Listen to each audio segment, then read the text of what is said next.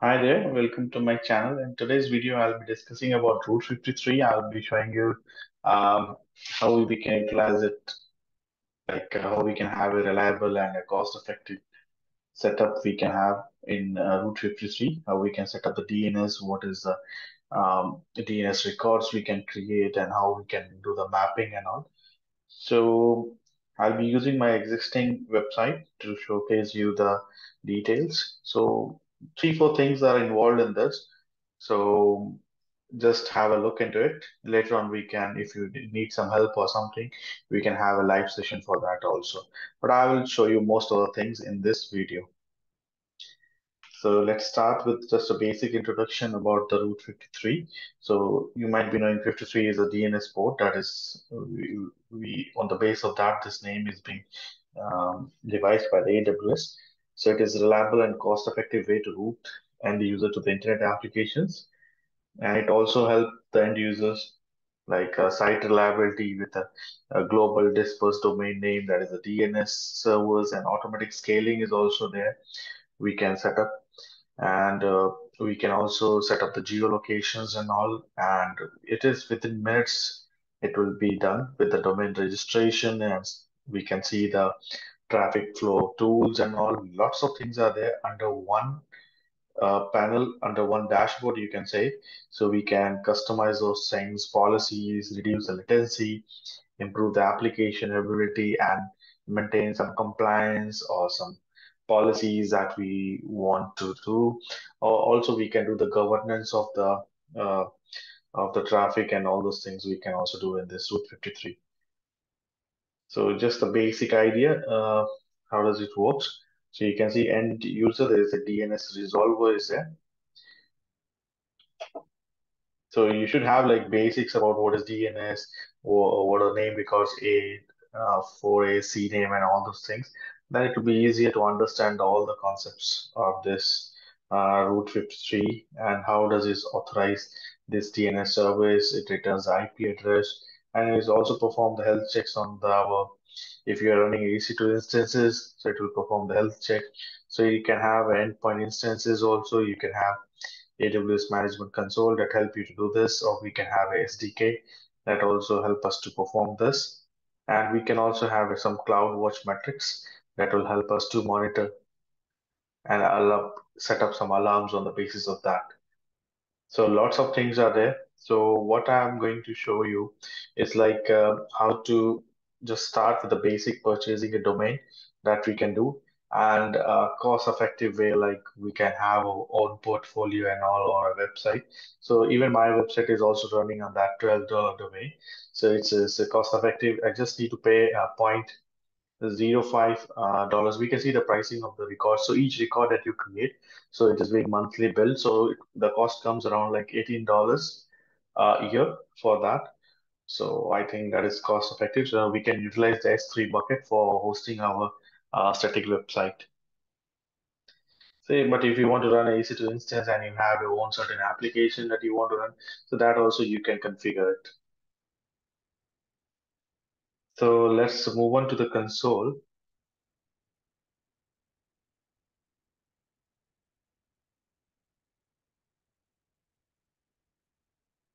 So this is the dashboard. So you can see already I have a DNS management over here.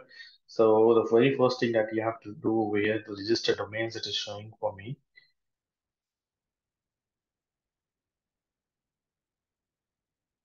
So you can see this is my domain that is already registered. So you can just, uh, now if you go for the transfer domain, uh, you can do that, but it will take around like uh, 72 hours in order to transfer the domain. So if you are starting afresh, so I would recommend you to uh, buy the domain from here only. It is instantly and it is you can start working immediately on this particular things. So you can click on the register domain. So I'll just type it over here, my just cloud tech website. I hope this domain is not there. You can see the pricing $13. Okay, so we have .NET $11. We can have co.uk also there. So different different pricings are there. So I hope you are clear about the domains, subdomains, and all those things. So, or you can just go to the Google and just refresh those the basics yourself. So you can see we have lots of options over here. I just let me stick to this one. I'm not going to purchase, I'm just showing you. You can click the check option over here. So you can see it's available. My just cloud technology website, anything, whatever it is, add to cart. Then you just uh, continue and you can proceed. So uh, there is some pricing details also there for queries and all those things, how much DNS management and all. So no need going through that. It is we can see while creating a records or whatever we are going to do. So once you purchase this one, it will automatically after purchasing, you can go to your registered domains over here. It will start showing over here. So once you click on this, you can, uh, this my details are coming. So make it sure uh, uh, if you want to automatically renew, you can make it automatically renew. And uh, uh, contact details and all, you can see a transfer lock also, you can maintain it. You can enable this one. And this is NS records are there. So this is uh, going to map to your domain. And domain name status, authorization code, registration date, and also we can uh, like edit the contact details and all those things you can do it. So if you have some if it is not approved it will go to the pending or if you are transferring some domain it will go to the this pending request. Now after purchasing this domain you can just directly go to the dashboard over here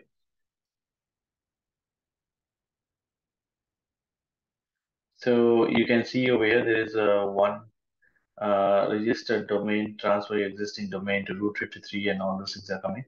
So one hosted zone. So once you click on this, or you can just go from here, hosted zones, create hosted zone. So I already have over here hosted zone. So once you click on the create hosted zone, you need to enter the domain name and uh, description. Now here the catch is public hosted zone or private hosted zone. So make it sure if you are having an internet facing uh, uh, traffic is routed on the internet, so making sure it is a public hosted zone. But if it is within a VPC, like uh, like you know in the company internal network on the internet, they want to utilize those uh, your application. So we, we we prefer using this private hosted zone. So within a VPC, it will be accessible. So and it's not internet facing. So make it sure if you are using for some internet facing, just go for this public hosted and create hosted zones. So I have already created over here for mine website. So you can see over here, there are many uh, records are being created. So, uh, so this is the A record. Now here you might get confused. By default, it will be uh, pointing towards uh, the, the def default ones. These NS records will be there. So this will be missing A record. And uh, I think uh, this uh, this two C names, these are coming from the certificate manager. And this one also, this one coming from the CloudFront. These two are coming from the CloudFront. Now you might be seeing there uh, double double are there, one for the www.justcloudtech.com and one is just cloudtech.com. So basically in order to get the HTTPS and all, so we need to create two separate. You can just watch my previous video. I have made one video how to host a uh, static website and how we can get the HTTPS. Just a small two minutes video is there. You can just go through it. If you have any problems, then I can just make a new video related to that. So, uh, so basically what is happening, um, I'm having like my static file saved in a S3 bucket. So I will show you over here. So you can see over here, I'm having this bucket over here. You can see. So inside this bucket, I'm having all the files over here. Here's a static website and I have given the properties in order to make it publicly accessible. So you need to make it sure static website hosting, you can see it has been enabled. So this is the by default uh, URL that will be there for your bucket, but we want to make it show need to map it with our domain. So in order to do that, we have to use a CloudFront. So basically when you're going to add the A record, so when you create the record over here, so you can see over here record name, A record, that will be just cloudtech.com, routes traffic to an IPv4 address and some AWS resources. So basically we are using that. So here you can see uh, we'll be getting this option plus uh, once you click on the these all the values and create records, it will automatically give you the mapping to the so this is basically using a simple routing. We can have a geolocation, latency based and weight routing also. So we can also do that. So let me show you one thing. So if you go to this A record, that is basically, uh, you can see over here, this is the value. So this is the CloudFront. There is one video for the CloudFront also, how we can utilize that. So basically, uh, once I go to the CloudFront, I need to make a distribution over here, create a distribution. So I made the distribution for this. You can see the origin, that is my bucket. It is basically. So this CloudFront distribution has been made and in which I'm doing this uh, mapping from this CloudFront to the, you can see. So when you make over here in the setting, when you define uh, this metrics over here, so that time you need to define, you can see origin name, origin domain. That is a path that we're having for the S3. So these things we need to define and behavior. It is default behavior and redirect HTTP to HTTPS. Basically, this is being done in order to get, even though if I type over here, um, just cloud tech. So, so you can see that is basically it's showing the HTTPS or if I type www dot uh, just cloud tech, then also it will be coming the same. So that's a small thing. So once you enable this in the cloud front, so we need to make this uh, a distribution. You can also add some error pages over here. You can also make geographic restrictions like uh, your website should not be accessible from some countries or anything like that. You can define it. You can define the countries over here. Like uh, like you don't want your uh, like websites to be like if you if you're from India, you don't want your website to be like accessed from other neighboring countries or something like that. So you can restrict from here. And uh, one more thing, like invalidation is there, like uh, for caching and all, you need to clear it. And another thing is that uh, you might be getting some uh, error with this uh, TLS version, this one. So those who will be watching my old videos and all will be finding that there is TLS version 1.0, I think by default. But nowadays it is not being used. So make it sure you have the TLS version 1.2. If you're using the older version, it, your website will stop working. So make it sure this TLS version is 1.2 over here. So this is very tricky. So you start getting there suddenly uh, if you're using the older version. But by default, nowadays it is picking up the newer version. So once you set up this, so basically we are mapping our S3 bucket with the CloudFront and CloudFront is uh, mapping to our uh, this uh, DNS over here. So this is how it is working. So I have created this one and this, you might be thinking about this C names. So this is coming basically from the certificate manager. So let me open the certificate manager. So in order to, it is free from the AWS, so you can get one certificate from your website. Nowadays they have made some changes. They are they have been like um, moving to some other uh, something versioning less certificates. You can see uh, some issue elliptic curve digital signature algorithm they are using from certificates from ACM. So I haven't updated this one. But if you see over here, uh, you first need to request the certificate. So um, make it sure in a day, I think uh, you can make a maximum of three requests. So if you make more mistakes, so you need to wait, I think, for 72 hours or something like that. So make it sure you are doing the things in the one go. So don't make any mistakes. So you need to request a public certificate, public SSL and TLS certificate from Amazon so that you can use it by browsers and operating systems. So I can show you. So let me show you over here. If you click next over here, you can see fully qualified domain name, you have to put it and see DNS validation. So it will automatically validate and it will add these two uh, records over here in the, you can see ACM, Amazon Certificate Manager validations are there. Even if I click over here, you can get more detail about it. Let me, so you can see this is the validations. So it is coming from the AWS Certification Manager in order to get the HTTPS and all. So, so this is also no need to worry. It will get automatically added to your domain once it is being validated. For validation, it takes like 15 to 20 minutes. So you need to wait for that. So you can see, you can choose over here which kind of algorithm you want and you can proceed next better make it DNS validation. If you want to make email validation, you will get email on the email that was being registered to purchase the domain. So make it sure if you're having access to the email and all. Otherwise, you can directly do the DNS validation. That is the most easiest way. So if I go to my list certificate over here,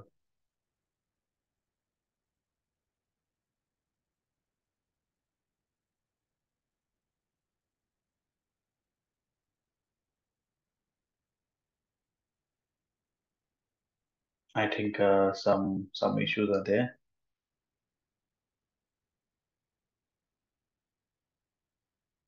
Let me check my certificate over here. I think it's a valid one, but uh,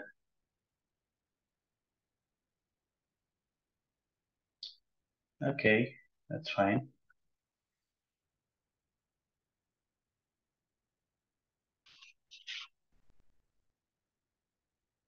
Let me go to this one again.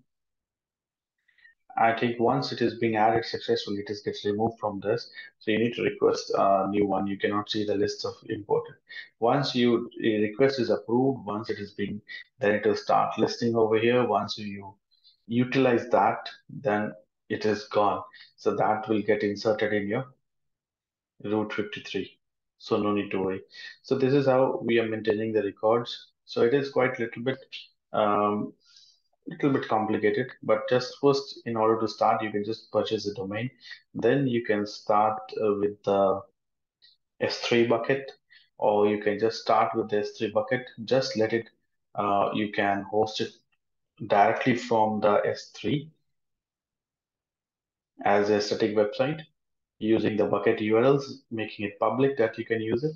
Later on, you can utilize with the CloudFront distribution. So map your uh, S3 bucket with the CloudFront distribution, and then later on use that uh, CloudFront distribution in the A records rather than redirecting it through a S3 bucket. So CloudFront distribution is very useful. It will help you to cache the records and all these things. It will uh, like reduce the latency also. So we need to have reduce latency and your website will be much faster also. So you can see your way Basically, I'm not keeping anything in this. So that is basic rule how to uh, get the HTTPS and all. So if you want to do utilize this, you can just watch my previous video. I'll provide the link in the description of this video. So you can have a quick look onto it. And in case of any difficulties, you just can uh, comment on my video. So I will try to make a live session with those uh, interested. So we can set up some schedule or set up some date on which I'll be coming live. So I can uh, help you live on that particular things. I hope you get a little bit um, clear idea about Route 53. Please do like, share, and comment on my videos if you have any problems. And thanks for watching.